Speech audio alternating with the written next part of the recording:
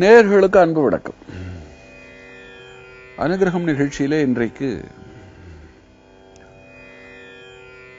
மனதிற்கு சிலிர்ப்பை தரக்கூடிய ஒரு சம்பவத்தை நான் உங்களோடு பகிர்ந்து கொள்ளப் போகிறேன். இது ஒரு வைஷ்ணவர் அவருடைய குடும்பத்தில் பெரியவரை தொட்டு நடந்த ஒரு சம்பவம். இந்த வைஷ்ணவருக்கு பெரியவர் மேல ரொம்ப பக்தி. பெரியவர் வந்து ஒரு அத்வைதியாக இருந்தாலும் கூட வைஷ்ணவ சம்பிரதாயம் வைஷ்ணவ முறை இவைகளையெல்லாம் ரொம்ப பெரிதாக கருதி போற்றியவர்.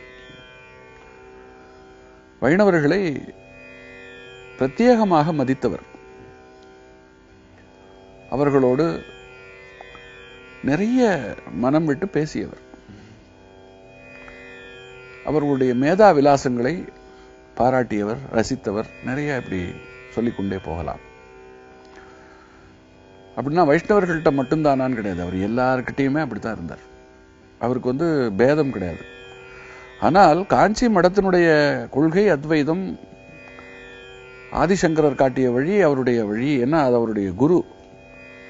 அதனால் அவர் அந்த வழியில் நடக்கின்றவராக இருந்தாலும் மற்ற வழிமுறைகளை மதித்தார் போற்றினார் பாராட்டினார். அதனால் அவருக்கு வந்து மதங்கள் கடந்து அவர் மேல அபிமானத்தோடு பலரும் இருந்தார்கள் இன்றைக்கும் இருக்கிறார்கள். அதில் இஸ்லாமியர்கள் இருக்கிறார்கள் கிறிஸ்தவர்கள் இருக்கிறார்கள் சமணர்கள் இருக்கிறார்கள் எல்லாரும் இருக்கிறார்கள். ஏன்னா அவர் வந்து அந்த அளவிற்கு தன்னை ஒரு பொதுமையானவராகவும் வைத்துக் கொண்டிருந்தார். அதனால இங்க வந்து இந்த வைஷ்ணவ குடும்பத்தை சார்ந்த இந்த பெரியவருக்கும் ரொம்ப ஒரு பக்தி இருந்தது. சொல்லப்போனால் பெரியவரே அவர் வந்து தன்னுடைய மானசீக இஷ்ட குருவாக வைத்துக்கொண்டு செயல்பட்டார். நான்லாம் இப்ப அப்படிதான் வைத்துக் கொண்டிருக்கிறேன். அந்த நிலையில் அவருடைய வாழ்க்கையில ஒரு சம்பவம். அவருடைய சகோதரியினுடைய பிள்ளைக்கு பூனல் போட வேண்டிய ஒரு முடிவு. அப்ப வந்து அவர் வந்து பெரியவர்கிட்ட கேட்கிறார் நான் வந்து பூனல் போட விரும்புறேன். என் பிள்ளையை போல கருதி கொண்டு நான் அவர்களுக்கு பூனல் போடலாமா? அப்படின்னு சொல்லிட்டு அவர் கேட்கிறார் ஏன்னா சகோதரி வந்து அவங்க வீட்டோட இருக்காங்க. கணவர் வந்து இல்லை. இந்த நிலையில் இவர் தன்னுடைய தங்கை பிள்ளை சகோதரியுடைய பிள்ளை தான் ஏன் செய்யக்கூடாது அப்படிங்கிற அடிப்படையில் கேட்கும் பொழுது பெரியவர் இந்த இடத்துல அழகா சொல்றார்.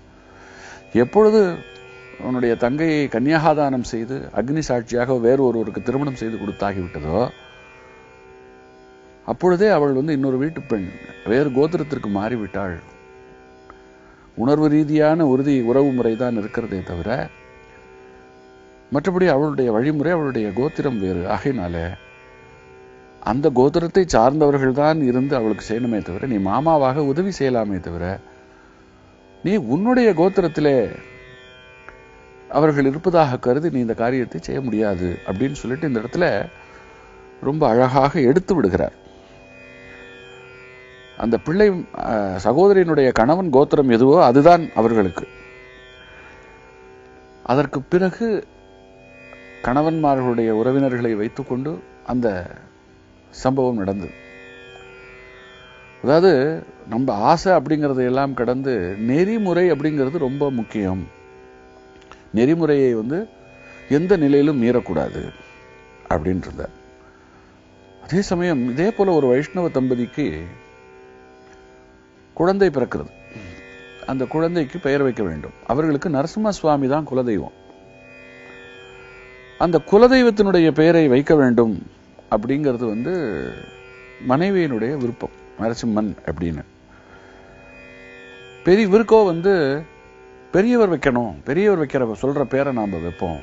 ஒரு குரு ஆசீர்வாதம் செய்து சொல்லுகிற பெயரை வைக்கும் பொழுது அவன் வாழ்க்கை நன்றாக இருக்கும் அப்படின்னு சொல்லிட்டு இவர் நினைக்கிறார். இப்பொழுது எந்த பெயரை வைப்பது? குலதெய்வத்தின் பெயரை வைப்பதா? அல்லது பெரியவர் சொல்லுவதை வைப்பதா அப்படின்னு சொல்லிட்டு ஒரு சின்ன குழப்பம் மனசுக்குள்ள. இந்த குழப்பத்தோடு அவர்கள் வந்து வரும்பொழுது அந்த மனைவி சொல்றா இப்படி வந்து ரெண்டாவது சாய்ஸே நம்ம இதுல கிடையாது. இதற்கு முன்பு எல்லாமே கூட குலதெய்வம் பேரை தான் வைத்திருக்கிறார்கள். அதனால நம்ம இப்ப இதையே யோசிக்க வேண்டாம். பேசாம குலதெய்வம் பேரையே வச்சிருவோமே. அப்படின்னு அழுத்தம் திருத்தமாக சொல்லுகிறார். இருந்தாலும் இவர் விடலை. இல்லை எனக்கு பெரியவர் என்ன சொல்கிறாருங்கிறது முக்கியம் அப்படின்னு சொல்லிட்டு இவர் பெரியவரை பிரதானமாக கருதி கொண்டு மடத்துக்கு வந்து பெரியவரை தரிசனம் செய்யும் பொழுது நேரில் குழந்தையோடு நிற்கிறார்கள் இப்போ இவர் எடுத்து சொல்ல போகிறார் பெரியவா இந்த மாதிரி குழந்தைக்கு பேர் வைக்கணும். நீங்கள் ஒரு நல்ல பேராக சொல்லுங்கோ அப்படின்னு சொல்லி இனிமேல் தான் இவர் சொல்ல வேண்டும். ஆனால் அதற்கு முன்பே பெரியவர் என்ன சொன்னார் தெரியுமா? என்ன? நரசிம்மம் பிறந்திருக்கானா? என்றார். அதாவது அந்த அந்த நொடியிலேயே அவர்களுடைய குழப்பத்தை அவர்களுடைய சிக்கலை அவர்களுடைய பிரச்சனையை தீர்த்து விட்டார். இவர்கள் வாயை திறந்து சொல்லவே இல்லை. சொல்லவே விடவில்லை.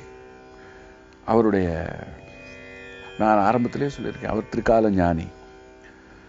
அவருக்கு இவர்களை பார்த்த மாத்திரத்திலே எல்லாம் தெரிந்து விட்டது. குலதெய்வத்தினுடைய பெயரையே அவரும் தன் வாயால் சொல்லி இவருடைய விருப்பம் மனைவியினுடைய விருப்பம் குடும்ப வழிமுறை எல்லாவற்றையும் ஒரே சமயத்தில் நேர் செய்து விட்டார். அதுதான் பெரியவர். எப்பேற்பட்ட குழப்பத்திற்கும் ஒரு தீர்வு. அவர் முன்னாலே நாம் சென்று நிற்கும் பொழுது மிகச் சிறந்த முறையில் நமக்கு கிடைக்கும். அதுல வந்து எந்த சந்தேகமும் யாருக்கும் தேவையில்லை. அதைத்தான் இந்த சம்பவங்கள் நமக்கு உணர்த்துகின்றன. தொடர்ந்து சிந்திப்போம். காஞ்சி நகர் உரையும் कामकोटिगुरुवे कामकोटिगुरुवे कामकोटिगुरुवे